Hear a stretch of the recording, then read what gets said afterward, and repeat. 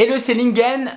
Aujourd'hui, je vais vous présenter le livre Réfléchissez et devenez riche. Alors, je vais vous le présenter brièvement parce que je ne le connais pas. Je vais vous lire les 13 étapes. Ok, je vais juste vous lire le, sommaire. Et en fait, chaque mois dans la famille solopreneur, euh, un club destiné aux gens qui veulent travailler avec moi, qui veulent progresser et atteindre les 5000 euros par mois. Donc, c'est un programme de formation continue.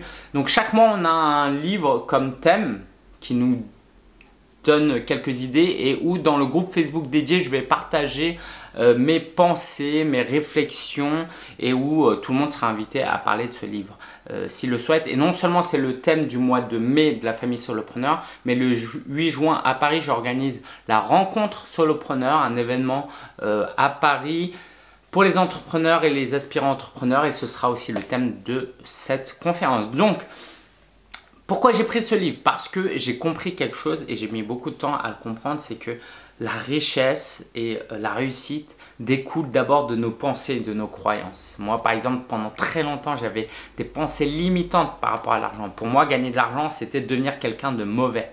Parce que les riches, c'est des méchants, hein, c'est ce qu'on nous dit dans les médias, n'est-ce pas? Et puis, euh, bah, je ne veux pas devenir méchant. Du coup, si je ne veux pas devenir méchant, il ne faut pas que je m'enrichisse. Et du coup, je suis pauvre.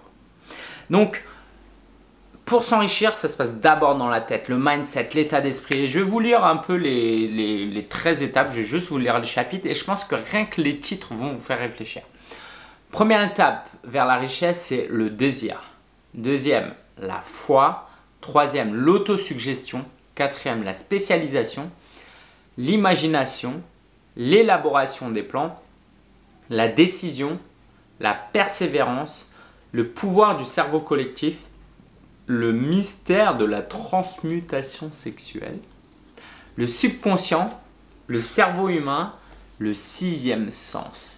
Voilà, voilà, c'est ce qui vous attend euh, dans ce livre. Donc procurez-vous-le si vous ne l'avez pas encore. Et puis, euh, si vous voulez nous rejoindre dans la famille solopreneur pour en parler, ce sera avec grand plaisir. Et si vous voulez venir à la rencontre solopreneur, je vous mets le lien aussi en dessous. Je vous dis à très bientôt euh, pour le livre du mois de juin.